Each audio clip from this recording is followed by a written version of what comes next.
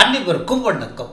தமிழ் நடிகர்களின் சம்பளம் ஒரு படத்திற்கு ஐந்து கோடி ரூபாய் முதல் ஐம்பது கோடி ரூபாய் வரை. ஒரு சில நடிகர்கள் நூறு கோடியையும் தாண்டி விட்டதாக சொல்லப்படுகிறது. சராசரியாக பத்து கோடி ரூபாய் என்றே வைத்துக் கொள்வோம். மாதம் எழுபதாயிரம் ரூபாய் சம்பளம் வாங்கும் ஒரு ஐடி ஊழியர் பத்து கோடி ரூபாய் சம்பாதிக்க நூற்றி இருபத்தி ஐந்து வருடங்கள் பணியாற்ற வேண்டும்.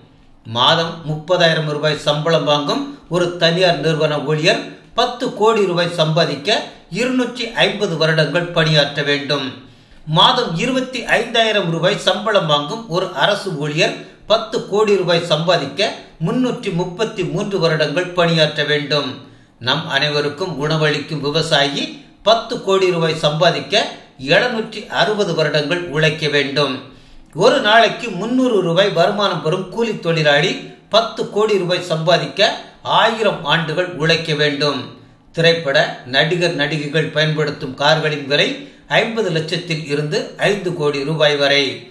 படப்பிடிப்பு தளங்களில் இவர்களது சொகுசு வாழ்க்கை என்பது நமது கேளிக்கை கடவுள் இந்திரன் கூட அனுபவிக்காதது.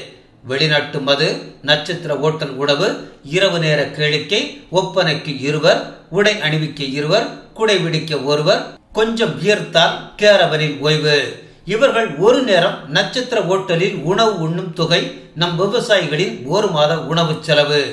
ஒரு ஆண்டில் மூன்று படங்களில் நடித்து ஐம்பது கோடி ரூபாய் சம்பாதித்து பத்து கோடி ரூபாய் வரி ஏய்ப்பு செய்து ஐயாயிரம் ரூபாய்க்கு ஏழை குழந்தைகளுக்கு நோட்டு புத்தகங்கள் வாங்கி கொடுத்து விளம்பரம் தேடுபவர்கள் இவர்கள். பல முன்னணி கட்டுமான நிறுவனங்கள் பல கோடிகளில் கட்டிடங்கள் கட்டுவது இவர்களிடம் விற்பதற்காகத்தான்.